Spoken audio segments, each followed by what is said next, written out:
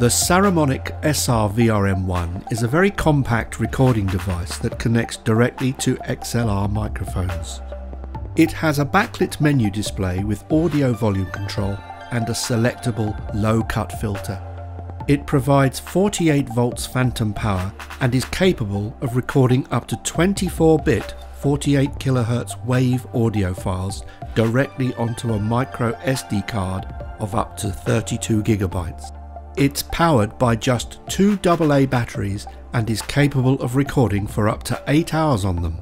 A 32GB memory card can store up to 60 hours of audio recorded at a maximum quality or up to 180 hours of audio recorded at 16-bit 24 kHz.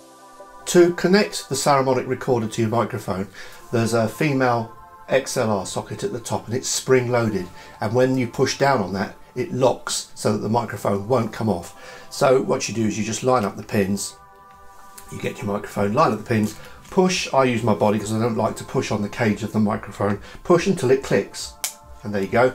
It's now fitted and it's rock solid, it's not going to go anywhere. And then you, off you go, you turn it on and off you go. Now one thing I, I do a lot of is I use dynamic microphones because they're less prone to picking up sounds around. So what I do is I want to make this more sensitive. So to, in order to do that, I use this thing, which is a Triton FetHead. And the Triton FetHead, it's this is the filter version. It takes 48 volts phantom from the uh, recorder. It boosts the input so that your dynamic mic is really incredibly loud. You can, you can then turn the gain of the Saramonic right down and avoiding noise problems. So the Triton FetHead goes into the microphone like that and then you plug into the recorder. I use the same method. I use the body, not the cage, because you could um, you could do damage to the cage. I think if you push down on it and dent it. So push it till it clicks, and they have a slightly larger package, but it's much more uh, dynamic and it's way way louder. You turn on the Saramonic and turn on the uh, Phantom Power, and once you've got the Phantom Power on, I find with the dynamic I'm using the, uh, the gain on the Saramonic right at the bottom of its range and that way um, you get so little noise it's unbelievable from a dynamic and terrific sensitivity. Okay, you're looking at me in the mirror at the moment, so you've got a backwards image. But what I'm going to show you is a little trick that I use in order to set gains. Now, one thing you can do is you can get the Saramonic and uh, attach it first of all to a patch lead in order to see that tiny screen because it can be difficult to set up.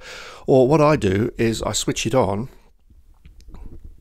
and when I switch it on I use the mirror actually. So I, I go up to the mirror and literally speak into the uh, thing there and watch the meter in the mirror. Check one two three and there you go. I've got a decent audio going now and uh, I know that that's going to work. So uh, that's one way that you can set the gains without having to go to the bother of uh, um, attaching patch leads but I know that people do attach patch leads to these things and then look at the meter set up the volume and uh, once the volume's set that's it you're off you go. But i find it easier to just walk up to the mirror and check myself uh, to see that uh, i'm not peaking the meter isn't that clear and um, you've got to be very careful setting the audio so that you don't peak um, it flashes right to the top very quickly so that literally you can barely see what's going on it's not a great meter so it's best to err on the the low side and so I generally aim at about halfway up when the meter's peaking halfway up. That's about the right place. But the use of the mirror is a great trick to get your audio at the right volume with not too much fuss.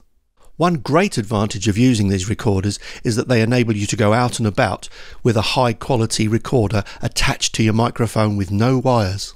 You can use them handheld, boomed, you can use a pencil mic as a portable microphone. Or even if you want to, use a studio mic mobile.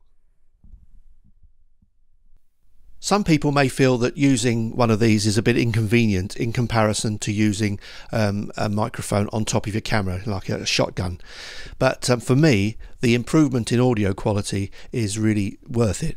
So this is me talking on the Saramonic now, and for the filming here, I'm using the Yi Lite.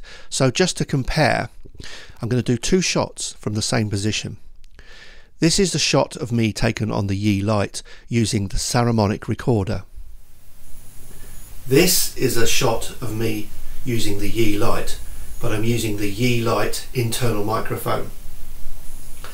Now you can probably see straight away or hear straight away that uh, the sound isn't quite as clear and the Yi is one of the better cameras for audio.